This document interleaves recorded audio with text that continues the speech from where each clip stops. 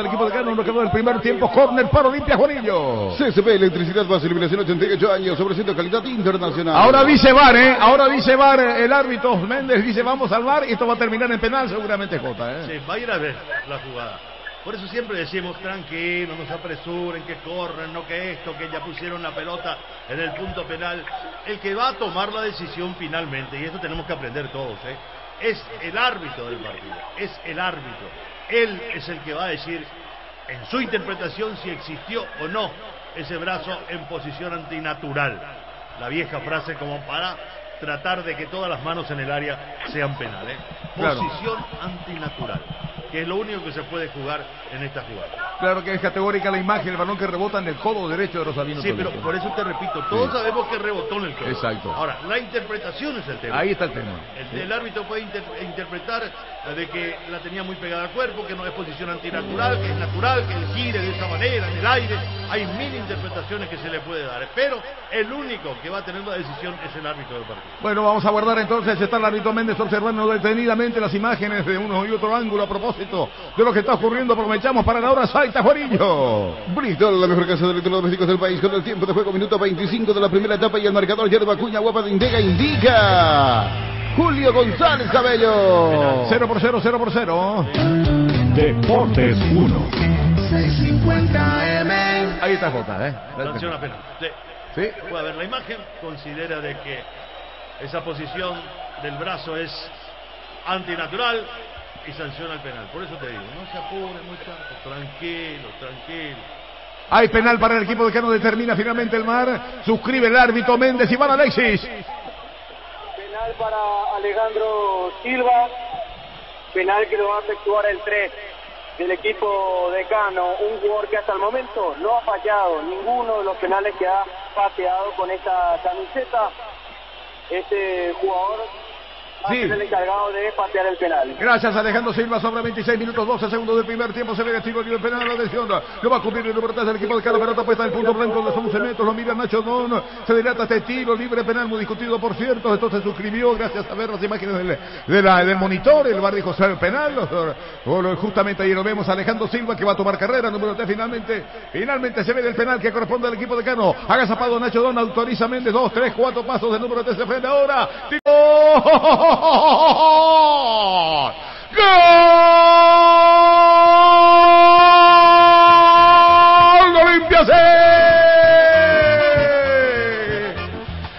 Es característico del número 3 Alejandro Silva, sí señor. Los saltitos impacticables del número 3 del equipo de la Franja Negra. Descolocando totalmente a Nacho Don, la pelota mansa, melancólica, románticamente se destornille. Se deposita del ángulo superior izquierdo del pórtico villarriqueño con tiro libre penal en Santibangui del fútbol de Cano. Ahí estuvo quien Alejandro Silva, mirá lo que hace. Un pasito aquí, otro más allá. El remate al palo zurdo. Con tiro libre penal 1-0 para el Decano, sí. Y siempre Flamea orgullosa bandera olimpeña, tu franja gloriosa de noble pendón, presura la Olimpia a sus dirigentes y bravos leones del gran capitán. 650 ¡Jota! Como ya es costumbre en Alejandro Silva, la manera que patea el penal. Pasitos, pasitos, saltitos, saltitos.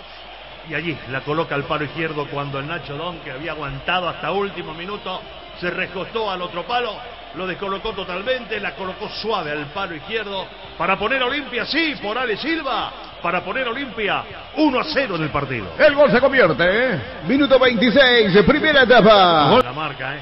Creo que fue Paniagua Toledo que venía cerrando, rozó en la marca, terminó por línea de fondo, la gambeta del Willy en el área de Guaireña. Es tiro libre de gira, corresponde al equipo de la Franja Negra. Lo acaba del segundo tiempo, Juanillo. Bristol, la mejor casa de electrodomésticos del país, con el tiempo de juego, minuto 15 de la segunda etapa y el marcador Yerba Cuña Guapa de Indega indica. Julio González Cabello. 1 a 0 para Olimpia. Deportes 1. 650 M. Pelota puesta en el triangulito, se ve el tiro libre de esquina, punta zurda, ¿quién lo va a cumplir? Aparece Alejandro Silva, de derecha, vino centro largo, pelota arriba, calle, vino por el medio, cabeza.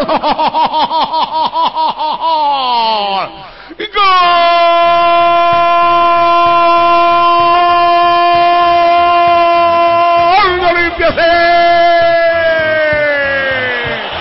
Excelente el centro de Alejandro Silva tirándose por el sector izquierdo de la derecha, del angulito zurdo con botín derecho, pelota revoleada por los los aires, señoras y señores, y pateando con la cabeza.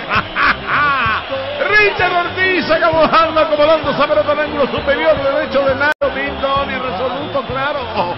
Pati tieso sorprendido el guardián del equipo guaireño. Nada que discutir, soberbio, letal, limpiadoso, irreverente.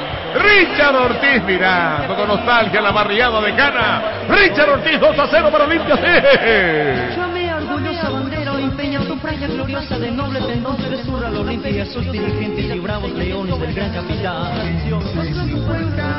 ¡Jota! El tiro libre desde el sector izquierdo. Alejandro Silva que mete la pelota al área. Apareció como una tromba, como un torbellino en el área, dejando a todos mirando la atropellada de Richard que bien cabeceó. De pleno con el parietal izquierdo para clavar esa pelota adentro, para poner el 2 a 0 para Olimpia. El gol se convierte. Minuto 15, segunda etapa. Gol